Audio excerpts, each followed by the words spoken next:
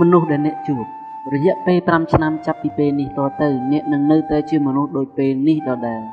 លើកលែងតែមនុស្សដែលអ្នកជួបសៀវភៅដែលអ្នកបានអានកាសែតដែលអ្នកបានស្ដាប់មនុស្សដែលអ្នកបានជួបអាចនឹងធ្វើឲ្យអ្នករំភើបរីករាយអាចផ្ដល់ដំបូន្មានដល់អ្នកអាចនឹងធ្វើឲ្យអ្នករីកចម្រើនខ្លាំងឡើងអ្វីដែលអ្នកត្រូវធ្វើនោះគឺត្រូវបន្ថែមចំនួនមនុស្សដែលអ្នកចង់ជួបឲ្យបានកាន់តែច្រើន មនុស្សដែលអ្នកបានជួបនឹងជួយកែលម្អការគិតរបស់អ្នកនិងលើកទឹកចិត្តអ្នកតាមរយៈវិធីផ្សេងផ្សេងជាច្រើនដែលអ្នកមិនអាចស្មានដល់មនុស្សម្នាក់ដែលម៉ាកតែងតែបានជួបនោះគឺ Red Skeleton ថ្ងៃមួយពេលដែលគិតកំពុងអង្គុយនៅក្នុងបន្ទប់រងចាំក្នុងប្រលានយន្តហោះមួយគិតបានឃើញ Red កំពុងតែអង្គុយនៅទីនោះដោយស្គាល់ថាគិតគឺជាតារាដ៏ល្បីម្នាក់ម៉ាកប្រហែលមានការភ័យខ្លាចហើយប្រហែលជាគ្មានសេចក្តីក្លាហានទៅជួបនិយាយជាមួយគិត ឬបើមិនជាហ៊ានគឺគ្រាន់តែជួបនិយាយពី3ម៉ាត់នឹងសុំឲ្យកើតថតរូបថតរូបជាមួយប៉ុណ្ណោះប៉ុន្តែ Red Skeleton គឺជាមនុស្សម្នាក់ក្នុងចំណោមមនុស្សដែលកើតបានកំណត់ទុកថានឹងត្រូវជួបនៅថ្ងៃណាមួយកើតបានសរសេរឈ្មោះរបស់ Red ទុកក្នុងបញ្ជីរួចជាស្រេចដូច្នេះក្នុងចិត្តរបស់កើតបានដឹងថាមិនយូរមិនឆាប់កើតនឹងទៅជួបហើយរៀនសូត្រពី Red ដោយហេតុនេះកើតគ្មានការស្មុគស្មាញក្នុងការដើរសំដៅ ទៅហើយណែនាំខ្លួនរបស់គាត់នោះទេគាត់បាននិយាយថាលោក Skeleton អ្នកមិនស្គាល់ខ្ញុំទេប៉ុន្តែខ្ញុំគឺជាផ្លិតមួយរបស់អ្នកគាត់ក៏ឆ្លើយមកវិញថាថ្ងៃក្រោយដូច្នេះខ្ញុំត្រូវការផ្លិតមួយមុនដំបូងមកបានទទួលនៅការកំ pl ែងស្ងួររបស់គាត់បន្ទាប់មកម៉ាក៏បាននិយាយលេងទៅគាត់វិញម៉ានិយាយថាលោក Skeleton ជាការពិតដែរឬទេដែលថាអ្នកមានរូបថតអនុស្សាវរីយ៍ កើតបានឆ្លើយថា បាទមានវាគឺជា feel មិនទាន់ផ្ដិតក្នុងរយៈពេល2-3នាទីពួកគេសើចដាក់គ្នាហើយនិយាយគ្នាដូចជាមិត្តភក្តិម៉ាកបានចំណាយពេល1ម៉ោងកន្លះក្នុងការជួបជាមួយគាត់ពួកគេបានជជែកអំពីរឿងរ៉ាវជាច្រើនក្នុងនោះមានរឿងមួយទាក់ទងនឹងការផ្សាយព័ត៌មានតាមទូរទស្សន៍ម៉ាកបានពន្យល់ថាគាត់ត្រូវគេស្នើឲ្យបង្កើតជាខ្សែភាពយន្តដើម្បីផ្សព្វផ្សាយជាសាធារណៈនៅតាមកញ្ចក់ទូរទស្សន៍ Red បានមានប្រសាសន៍ថានោះគឺជារឿងដ៏អស្ចារ្យណាស់ ប៉ុន្តែនៅពេលដែលត្រូវធ្វើកងត្រាកិតតែងតែធ្វើការទៀមទានៅការសិក្សារក្សាសិទ្ធិក្នុងការផ្សព្វផ្សាយវាប្រហែលជាមិនមានតម្លៃអ្វីទេក្នុងពេលភ្លាមភ្លាមប៉ុន្តែទៅថ្ងៃអនាគតវាអាចនឹងមានតម្លៃមិនអាចកាត់ថ្លៃបានក្រោយមកមកបានផលិតខ្សែភាពយន្តដើម្បីផ្សព្វផ្សាយជាសាធារណៈនៅពេលគិតចុះហត្ថលេខានៅលើកងត្រាគិតបានប្រកាសថាគិតបានរក្សាសិទ្ធិគ្រប់យ៉ាងក្នុងការផ្សាយ ក្រោយមកមិនយូរប៉ុន្មានភាពបានរកឃើញថាខ្លួនបានបាត់បង់លុយទាំងអស់ដែលបានគិតថានឹងត្រូវមានសម្រាប់ការដាក់បង្ហាញទាំងនោះដោយសារ Ronald Reagan បានដកលុយចាញ់ចំនួន160លានដុល្លារនៃមូលនិធិរបស់គាត់ដោយសារ Mark បានរក្សាសិទ្ធិ1.4លានដុល្លារថ្លៃឈ្នួលនៃខ្សែភាពយន្តរបស់គាត់គាត់បានធ្លាក់មកដល់ដៃគាត់យ៉ាងងាយឥឡូវនេះ Mark ប្រើខ្សែភាពយន្តនោះ ធ្វើជាឧបករណ៍ផ្សព្វផ្សាយដែលមិនមិនអាចកាត់ថ្លៃបានអ្នកឃើញទេវាមិនមែនមកជាមនុស្សដែលឆ្លាតពិសេសជាងគេនោះទេវាគឺដោយសារតែគាត់បានជួបជាមួយ Red Skeleton ដែលបានផ្ដល់ឲ្យគាត់យល់កាន់តែច្បាស់ផ្នែកលើបទពិសោធន៍របស់ Skeleton ការជួបនេះនាំឲ្យគាត់រីកចម្រើននិងមានប្រាក់ចំណូលនៅពេលអនាគតចូលកត់ត្រាឈ្មោះមនុស្សដែលអ្នកចង់ជួបវាគឺជារឿងមួយដែលអ្នកត្រូវគិតអំពីថា ជួបអ្នកណាម្នាក់មានមនុស្សណាជាច្រើនផ្សេងគ្នាដែលត្រូវកត់ត្រាចូលក្នុងបញ្ជីដោយដែលយើងបានដឹងមកហើយថាការកត់ត្រាធ្វើឲ្យយើងមានការបដិញ្ញាចិត្តវាប្រាប់ញាណរបស់យើងនៅអ្វីដែលយើងចង់ធ្វើហើយអញ្ញាណជាអ្នកចង្អុលបង្ហាញពីរបៀបដែលត្រូវធ្វើដាស់សតិរបស់យើងយើងអាចសរសេរចាញ់10សំណួរដែលយើងចង់សួរទៅមនុស្សដែលយើងចង់ជួបត្រូវមានបំណងជួបជាមួយមនុស្សផ្សេងផ្សេង ការជួបមនុស្សដែលមានការរស់នៅផ្សេងផ្សេងពីគ្នាមានជីវិតខុសៗគ្នានឹងនាំឲ្យអ្នកកាន់តែរីកចម្រើនចំពោះបទពិសោធន៍របស់យើងយើងទទួលបាននូវភាពរីកចម្រើននៅពេលដែលយើងបានជួបជាមួយ John Goddard John គឺជាមនុស្សម្នាក់ដែលជាអ្នករករោគនឹងស្លងប្រេងដ៏សំខាន់របស់ពិភពលោកក្នុងវ័យ15ឆ្នាំគិតបានសរសេរបញ្ជីជីវិត ដែលមាន127គោលដៅក្នុងនោះរួមបញ្ចូលទាំងការរករោគទន្លេនីល Amazon និងទន្លេកុងហ្គោ ការឡើងភ្នំអ៊ីវរ៉េសភ្នំគីលីម៉ាន់ជរ៉ូការជិះដំរី ការជិះសត្វអូទ្រីសជិះសេះព្រៃនិងការធ្វើដំណើរដោយម៉ាក្រូប៉ូឡូរួមទាំងការអានគម្ពីរសិភើដែលនិពន្ធដោយលោក Shakespeare Plato Aristotle និងមុខវិជ្ជាផ្សេងផ្សេងទៀតជាច្រើនគិតថែមទាំងសរសេរថាគិតចង់សរសេរសិភើមួយក្បាលហើយចង់ដើរកំសាន្តគ្រប់ប្រទេសនៅលើពិភពលោកមកដល់អាយុ 68ឆ្នាំជន់សម្រេចបាន114នៃគោលដៅរបស់គាត់ហើយកំពុងតែខិតខំធ្វើឲ្យបានសម្រេចគោលដៅដែលគាត់បានដាក់ចេញកាលពីគាត់មានអាយុត្រឹមមានអាយុ50ឆ្នាំតាមពិតគាត់បានសរសេរបន្ថែមគោលដៅរបស់គាត់ចូលទៅក្នុងបញ្ជីជ្រៀងរាល់ឆ្នាំគួរចាប់អារម្មណ៍ខ្លាំងណាស់គោលដៅរៀងរាល់ទី125ដែលគាត់បានសរសេរនៅអាយុ50ឆ្នាំគឺទីលេងថាប្រច័ន ការយល់ឃើញរបស់គាត់នឹងបច្ចេកវិទ្យារបស់ពិភពលោកកំពុងដើរទន្ទឹមគ្នាដូច្នេះសម្បីតែគោលដៅនេះក៏ប្រហែលជានឹងត្រូវសម្រេចបានផងដែរចនគឺជាមនុស្សចូលចិត្តផ្សងព្រេងបំផុតថ្មីថ្មីនេះចនបានហៅនឹងបបួលមកចូលព្រៃដែលមានចម្ងាយ8ម៉ាយនៅក្នុង Santa Anita Canyon ជាកន្លែងមួយដែលស្ទើរតែគ្មានមនុស្សទៅដល់ម៉ាកបានយកព្រមទៅជាមួយចនក្នុងនោះមានមិត្តភ័ក្តិរបស់ចន18នាក់ដែលត្រូវទៅជាមួយពួកគេបានណែនាំខ្លួនឲ្យម៉ាកបានស្គាល់ កន្លែងនោះមានខ្យល់អាកាសត្រជាក់ស្រួលចនបានប្រាប់ទៅក្រុមរបស់គាត់គាត់ដឹងដោយសារគាត់ធ្លាប់មានបទពិសោធន៍ទៅកាន់ទីនេះតាំងពីក្មេងបន្ទាប់មកពួកគេបានបរិភោគអាហារថ្ងៃត្រង់នៅកន្លែងនោះចនបាននិយាយថាយើងអាចឡើងលើភ្នំលើកំពូលភ្នំតាមផ្នែកនេះឬផ្នែកមួយទៀតនៅខាងនោះ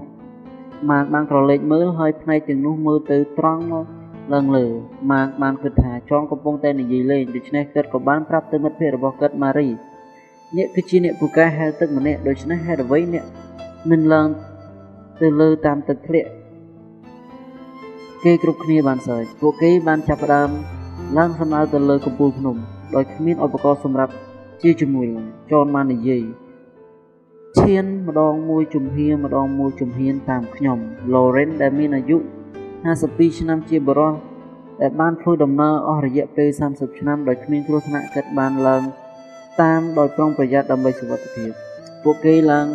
តាមផ្លូវត្រង់ទៅលើម៉ាកមានអារម្មណ៍ថាបេះដូងរបស់គាត់កំពុងតែលោតឌុកដាក់ឌុកដាក់គាត់យល់ថាប្រសិនបើគាត់បានដឹងថាជាមុនដូច្នេះគាត់នឹងមិនព្រមមកជាមួយទេប៉ុន្តែប្រសិនបើគាត់មិនបានស្គាល់ John Goddard Goddard គាត់ក៏មិនបានមកឃើញដូចនេះដែរ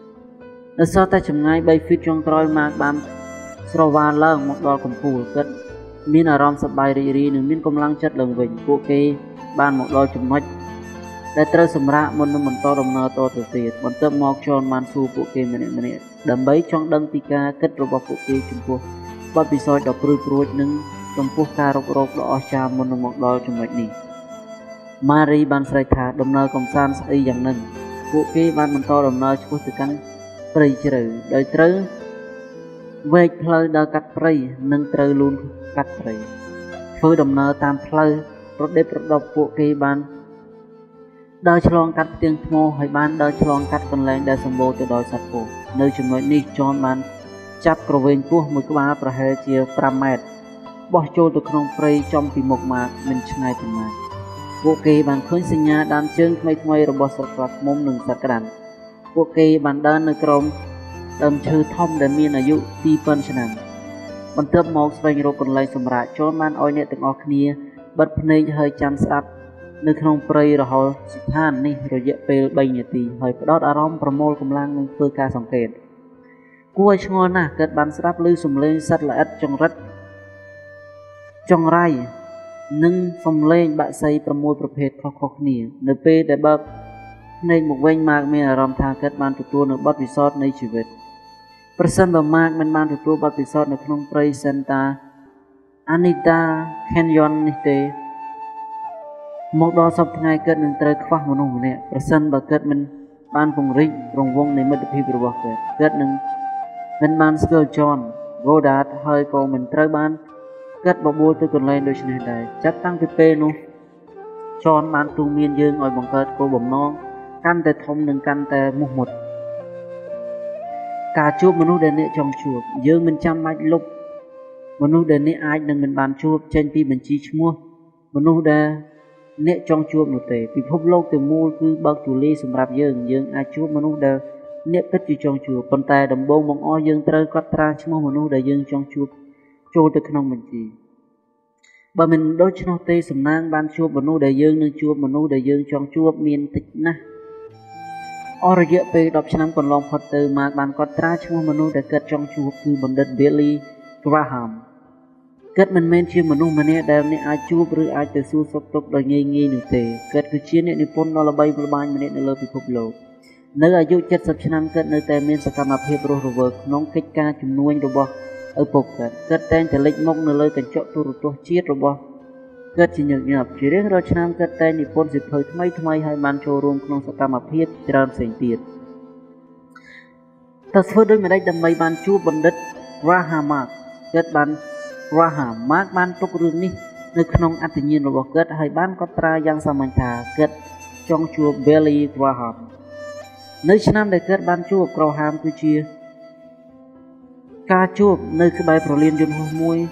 បែបផ្ទះរបស់ម៉ាកម៉ាកជាមួយនឹងប្រពន្ធផេធីពួកគេបានក្រុមធ្វើដំណើរតាមយន្តហោះដើម្បីទៅកន្លែងមួយ នៅពេលដែលពួកគេមកដល់ប្រលានយន្តហោះពួកគេដឹងថាគេផ្អាកមិនអោយ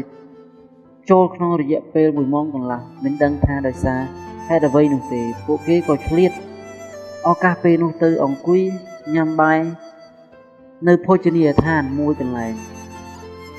ខណៈពេលនោះពួកគេកំពុងញ៉ាំអាហារស្រាប់តែឃើញ Coral Brown ជាជំនួយការមេបញ្ជាការកងសន្តិសុខ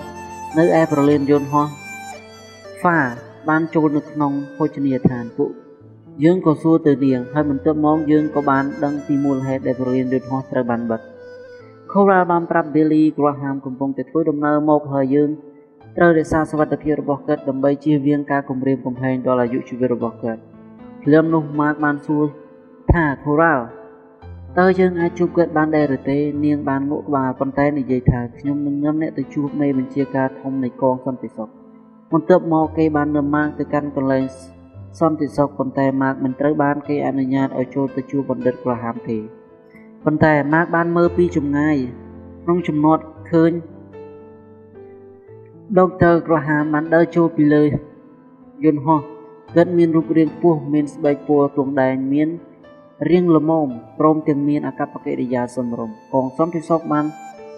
តាមពីក្រោយការពារគាត់ហើយគាត់បានដើរទៅកាន់ស្ថានីយ៍ដើម្បីរងចាំទទួលលេបាត់ហេតុការចង់ជួបពេលដែលក្រុមហ៊ុនសន្តិសុខចេញទៅជញ្ជូនអីវ៉ាន់របស់ក៏ហាមពេលនោះម៉ាក៏ឆ្លៀតឱកាសដោយក្តីរីករាយនឹងរាកទាកម៉ាកបានសំណើទៅដុកទ័រក្វាហាមយ៉ាងស្វាហាប់ទីបំផុតគាត់ក៏បានជួបដុកទ័រក្វាហាមយ៉ាងពិតប្រាកដ ពួកគេបានចាប់ផ្ដើមនិយាយជាមួយគ្នាហើយម៉ាកបានសួរដុកទ័រក្វាហាមនៅសំណួរជាច្រើនដែលគាត់បានគិតគិតទុកនៅក្នុងចិត្តអស់រយៈពេលជាច្រើនឆ្នាំមកហើយដុកទ័រក្វាហាមបានឆ្លើយសំណួររបស់គាត់ដោយក្តីរីករាយហើយព្រមទាំងសួរនៅសំណួរជាច្រើនមកវិញផងដែរគោលបំណងរបស់យើងគឺចង់បង្ហាញថាម៉ាកហ៊ានទៅជួបដុកទ័រក្រាហាមដោយគ្មានការភ័យខ្លាចហើយនៅពេលដែលពួកគាត់នឹង មិនដឹងថាតើអ្វីដែលត្រូវនិយាយនោះទេប្រសិនបើគាត់មិនបានកត់ត្រាទុកក្នុងបញ្ជីរបស់គាត់ពីមុនមកចូលចងចាំថារាល់មនុស្សដែលអ្នកជួបត្រៀមជួបសិតតែជាមនុស្សដែលត្រៀមនឹងជួបជាមួយអ្នកដូចគ្នាចាប់ផ្ដើមធ្វើបញ្ជីឈ្មោះមនុស្សដែលអ្នកចង់ជួបកត់ត្រាឈ្មោះតាមលេខរៀងពី1រហូតដល់1រយនៅលើក្រដាសចាប់ផ្ដើមកត់ត្រាឈ្មោះដែលអ្នកបានគិតនៅក្នុងចិត្តអាច ជាមនុស្សដែលអ្នកបានឃើញនៅតាមកញ្ចក់ទូរទស្សន៍ខ្សែភាពយន្តឬក៏តាមរយៈការប្រគំតន្ត្រីជាដើមអ្នកអាចកត់ត្រាបន្ថែមមនុស្សពិសេសក្នុងចិត្តរបស់អ្នកឬអ្នកផ្សេងផ្សេងទៀតដូចជាអ្នកនយោបាយឈ្មោះមនុស្សដែលអ្នកចាប់អារម្មណ៍តាមរយៈទស្សនាវដ្តីក្នុងសិភៅផ្សេងផ្សេងឡាចូលចងចាំថាគោលបំណងទាំងនេះគឺដើម្បីបង្កើននិងធ្វើឲ្យអ្នកទទួលបាននូវភាពរីករាយជាមួយនឹងអ្វីដែលអ្នកបាន រៀនតាមរយៈការជួបមនុស្សដែលយើងបានកត់ត្រាក្នុងបញ្ជីអ្នកនឹងដឹងពីគោលបំណងពីតម្លៃជំនឿភាពមន្ទិលសង្ស័យនឹងការភ័យខ្លាចរបស់ពួកគេហើយទាំងនេះនឹងជួយឲ្យអ្នកទទួលបាននូវបទពិសោធន៍ផ្សេងផ្សេងដែលអ្នកជួយបង្កើនសក្តានុពលរបស់ខ្លួនអ្នកការស្រមៃរបស់អ្នកនឹងក្លាយជាមកជា ការពិតឲ្យសេចក្តីរីករាយនឹងកើតមកចំពោះអ្នកអ្នកនឹងឃើញថាអ្នកខ្លួនឯងកំពុងនិយាយថាប្រសិនបើគេអាចធ្វើវាបានខ្ញុំក៏អាច ការជួបមនុស្សទាំងឡាយក្នុងបញ្ជីរបស់អ្នកច្បាប់នៃការតាក់ទាញថ្លែងថាអ្វីដែលអ្នកកំពុងគិតច្បាស់លាស់និងជាប្រចាំអ្នកនឹងបានជួបមិនខានបើសិនជាគោលដៅរបស់អ្នកគឺចង់ជួបជាមួយនរណាម្នាក់មនុស្សនោះនឹងនៅទីនោះដើម្បីជួបជាមួយអ្នកតែអ្វីអ្វីដែលអ្នកនឹងធ្វើក្នុងឱកាសនោះវាស្រេចតែអ្នក